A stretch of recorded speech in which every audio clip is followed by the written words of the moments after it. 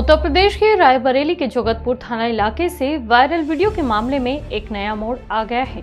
पीड़ित युवक से समाजवादी पार्टी के राष्ट्रीय अध्यक्ष अखिलेश यादव ने मुलाकात की।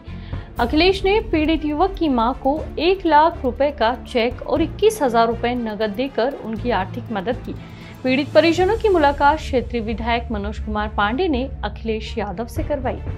बता दें कि रायबरेली में एक दलित युवक का वीडियो वायरल हुआ था जिसमें आरोपी शख्स दलित युवक के साथ मारपीट कर उससे अपना पैर चटवाते हुए दिखता है। दो मिनट तीस सेकंड के इस वीडियो में लड़का ज़मीन पर बैठा है और उसने अपने कान को पकड़ रखे हैं। आरोपी मोटरसाइकिल पर बैठा है और अपना पैर चटवा रहा है। क्या बोले थे?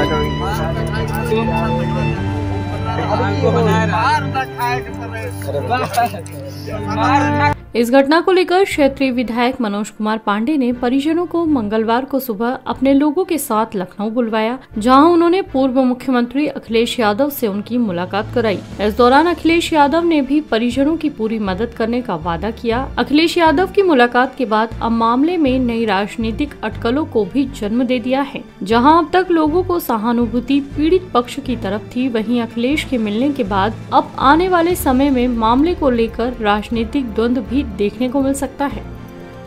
इस घटना के वायरल वीडियो की पुष्टि भी हो गई। वीडियो 10 अप्रैल का बताया जा रहा है, जिसमें दिखने वाला पीड़ित युवक जगतपुर कस्बा का रहने वाला है। वीडियो के आधार पर सभी आरोपी छात्रों की पहचान हो गई है। सभी आरोपियों को पुलिस हिरासत में लिया गया है। उन्हें न्यायिक बोर्ड के सामने प्रस्तुत किया जाएगा।